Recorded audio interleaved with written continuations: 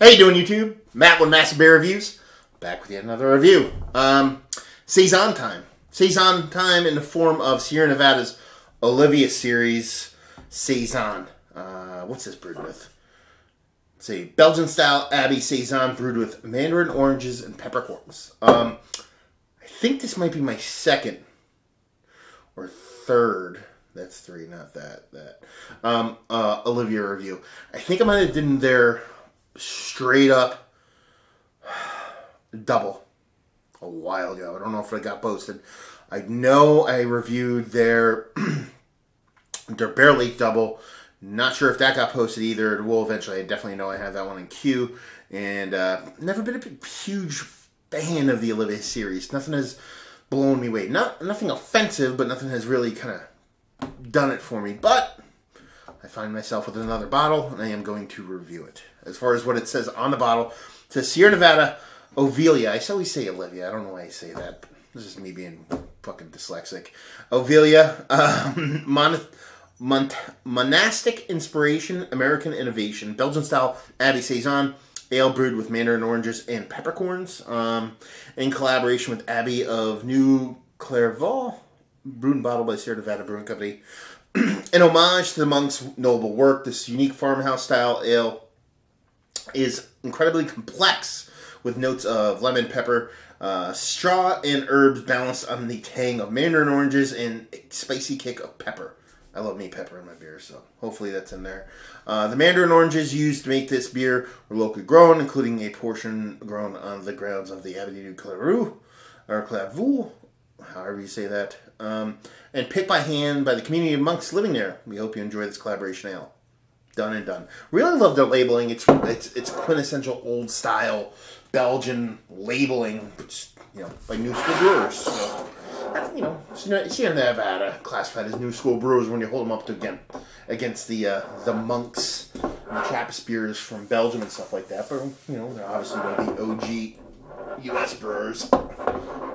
Let's see not a big pop on that at all. You know, with your um, saisons, um, you'd expect a little bit of a pop to it. Yeast can be a bit aggressive. Um, you can go from having you know a really funky saison kind of yeast, whether it be like a Brett level yeast or something like that, or just a straight up big Trappist kind of yeast. So usually expect a big pop. Didn't get that. Really nice look to it. More erring on the side of double than your day typical Belgian style saison. Um, you know what head it did have was about a half a pinky finger, barely off white, pretty compact bubbles, decent creaminess to it, but I mean that is pretty damn good looking color wise. Um, I can smell the Belgian yeast from here. Um, you're getting a, a, orange with a hint of honey kind of color to it, subtle carbonation in the middle, haze, very nice haze to it, like very double IPA color. So yeah, I mean she looks, she doesn't look much like a saison, um, but uh, she uh, looks good nonetheless. So let's get a nose on her. Really good legs too. Bright um, orange in there, very bright orange. That pepper, I think it's a combination of the yeast you're using. Smells like a just a, um, a, a Belgian style saison yeast, nothing too funky, um, like a Brett level funkiness, but more of like a I think the pepper's coming from the actual peppercorns, but also coming from the Belgian yeast is what I'm trying to say. I think you're getting a, a little bit of the kind of um, pepperiness, as I just said, from yeast, but that peppercorn just makes it pop a little bit more, a little bit more impactful as just being like a subtle kind of pepperiness. Oranges are big in that. I'm getting a decent amount of lemon out of this too. But that spiciness, like you're getting a bit of like almost like a, not like a winter spice beer you get a lot of those uh, typical saison kind of spiciness, but kind of kicked up a notch. You're getting that uh, coriander and that pe- peppercorn in there. You're getting a little bit of almost like a nutmegginess kind of going on in there. A little bit of even maybe even just a touch, touch, touch of like a like a um, um, uh, all spiciness almost. Yeah, she smells cool. She smells like a, a little bit dialed up saison. Um, ABV on this, 7.5, so it's definitely a bit higher than your classic Saison style, but more in line with your new school Saison. um, ABVs. So yeah, she looks interesting. She smells spicy. Um, let's see what she tastes like. Cheers.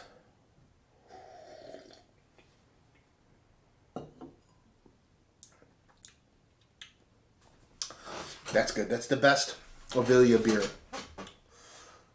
by far I've had. That's really nice. first things first. You get this initial kind of, I don't want to say, no, I'm going to say it, subtle, subtle kind of tartness you think from that kind of orange fruitiness right at the base, but once you start to swallow, then it's kind of the orange kind of opens up and a little bit more sweeter, a little bit more fleshier. Then all about that Belgian spice after that. All the spices start to come through. He's starting to get, like I said, coriander's a big one. Black peppercorn just takes it up a notch. Combined, combined with that classic Belgian style saison yeast where you're getting a lot of pepperiness, a lot of spices, and then it just makes it go even bigger. I dig it. And there's this really underlying kind of caramel, almost like a double kind of vibe to it. And I think, you know, when you're looking at the color of this, holding up to it, uh, a typical saison, they might be using some kind of, kind of caramel yeast in there. There also could be some age on this sucker. I did not look for date. It's old that doesn't suck either. Um, 7.5%. This beer is just a hair under two years old. I think that time has served this beer really well. That's where I think a lot of that caramel note is coming from. It's like a toffee kind of caramel note. Um, it's probably darkened in color over that time too, and just kind of brought out a little bit more. So, freshy might be a, quite a bit different than this, but that age I think has done this beer absolute wonders. Um, and it's something I kind of want to pick up more of, especially at this date. Mm. Yeah, it's cool. It's like a, it's like a saison, a peppercorn field, and a lighter double all kind of had a menage a trois and just popped out a baby. That's kind of what's going on here. I dig it. Really dig it. That to get those kind of caramel toffee notes out of a saison combined with that spiciness that's in, enhanced by those peppercorns. And with those orange being in there, they're kind of like a like a, a bit player in the whole thing, but it just kind of adds a little bit level of bright citrus fruitiness to it that is sweeter, but not overly sweet. I, I dig it. And like I said, by far the best Ovila beer that I've had, or Olivia, as I would say when I kick off the fucking video like a dum dum. Um, so yeah, let's talk about it. Is it one of the better saisons I've had as of late? Absolutely, yes. Take that with a grain of salt because of the age, um, and the fact that it's a little bit outside of your atypical saison classicness with brewed with the oranges combined with the peppercorns but yeah, it's up there. It's up there in the like top ten I've had as of late, probably top five. It's just that that fun, and me going into excuse me, me going into this thinking that okay, hmm, you know, I'm not a big fan of this series. This is why you drink beer. So you have make the assumptions and blowing out of the water here. Uh, would I buy it again? Absolutely. Um, we see this line around quite a bit in this area, um, but it. Um, you don't see it all the time. You see it, it pops in, and pops out. I don't know if it's a seasonal release from them, but we typically get in our area. So if you're in the northeastern United States, um, take that with uh, whatever. Um, price point wise, I want to say these aren't too bad. Um, Sierra Nevada, when they get into these bigger bottles, whether it be the Ovila series or their barrel aged stuff, typically jumps the shark a little bit when it comes to price point. But I think these come in four packs. Could be wrong, but I think these come in four packs, and I think they're less than twenty bucks.